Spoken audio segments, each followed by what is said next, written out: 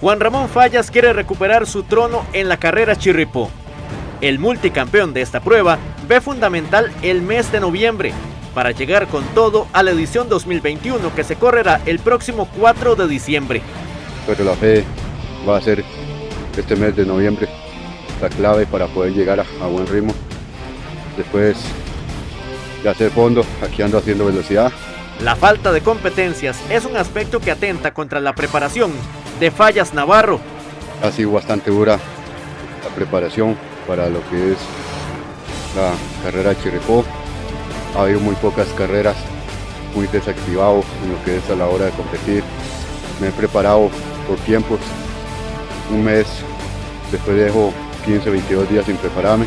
Sin importar la lluvia o el sol, el atleta de Buenos Aires sigue sus entrenamientos con la intención de volver a la victoria en la prueba de los 34 kilómetros. Aquí preparándolos, debajo del agua, pero no queda de otra, hay que seguir para adelante agradecido por todos los que me han apoyado.